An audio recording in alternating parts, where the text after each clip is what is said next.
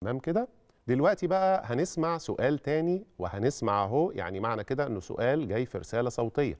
إحنا حاولنا ننتقي لحضراتكم آه، الأشكال كلها علشان حضراتكم تتشجعوا وتبعتوا لنا اللي أنتوا عايزينه سواء زي ما قلنا أو زي ما شفنا دلوقتي في آه، مقطع فيديو مصور أو في رسالة صوتية زي ما هتسمعوا دلوقتي حالا. مساء الخير. آه كنت عايزة أسأل ابني بيجيله بقع بيضة حوالين بقه. فهل البقع بيضة دي في صحابي قالوا لي ده عشان ما بياكلش عيش بلدي أو علشان بياكل عيش فينو؟ فهل ده صحيح ولا ده نقص فيتامين أو أحلل له إيه ممكن تقولوا لي؟ شكرا.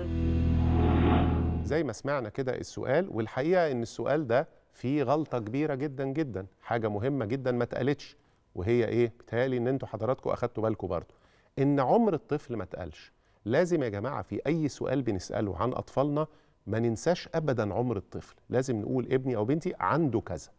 فاكرين السؤال اللي قبله؟ جوليا عندها أربع سنين. خلاص فبنقدر يبقى عندنا تصور للإجابة عشان النصيحة تكون موضوعية لحضراتكم. تمام؟ بالنسبة للسؤال بس قبل ما نقول الإجابة هي الحقيقة إنه غلط فعلا إن الطفل ياكل عيش فينو على طول. الطفل لازم ياكل عيش بلدي أو العيش ال- الخبز الأسمر أو اللي بالحبوب الكاملة. ده حاجة ضرورية جدا لأنه الخبز البلدي كمان آه، والردة تحديدا آه، مهمة جدا جدا علشان ضمان عدم نقص فيتامينات كتيرة جدا جدا وعلى رأسها فيتامين ب المركب. وفيتامين ب المركب ده بقى له يعني أهمية قصوى أهمية كبيرة جدا جدا في الأعصاب وفي الجهاز الهضمي وفي حاجات وفي الجلد وفي حاجات كتيرة قوي.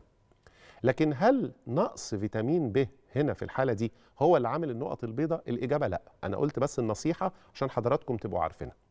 ونظرا لأنه في السؤال لم يذكر عمر الطفل فلازم نقول إيه هي بقى الاحتمالات؟ الحقيقة إن في احتمالات كتيرة قوي للبقع البيضاء اللي بتبقى في الوجه. أول هذه الاحتمالات إن يكون الطفل ده من المواليد الجدد مثلا يكون عمره صغير.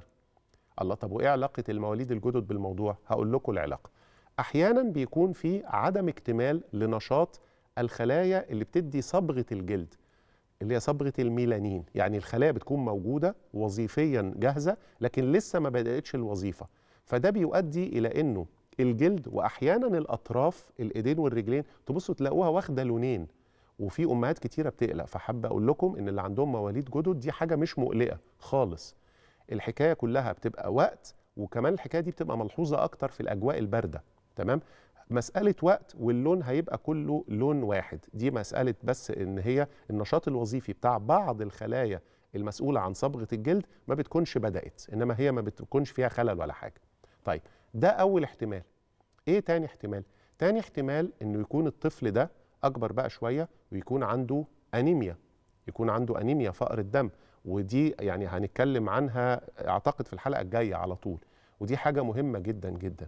الأنيميا وأنيميا نقص الحديد كمان آه، من أشهر أنواع الأنيميا اللي بتصيب الأطفال ومن الانعكاسات بتاعتها أو من العلامات بتاعتها على طول إن ممكن يكون في بقع بيضة في الوجه.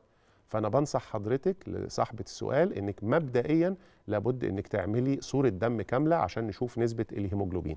وهنتكلم الحلقة الجاية عن أنيميا نقص الحديد بالتفصيل.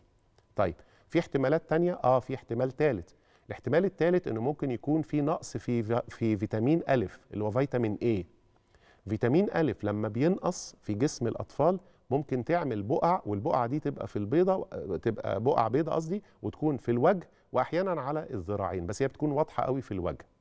طيب فيتامين الف ده بيكون موجود في إيه؟ موجود في الخضروات الملونة كلها الخضروات والفواكه. يعني أي حاجة ملونة يعني موجود في الكنتالوب موجود في الجزر موجود في الخس موجود في الجرجير أي حاجة كده ليها لون موجود في الفلفل الألوان الفلفل اللي هو لونه آه، أصفر أو الفلفل الأحمر أو الفلفل الأخضر.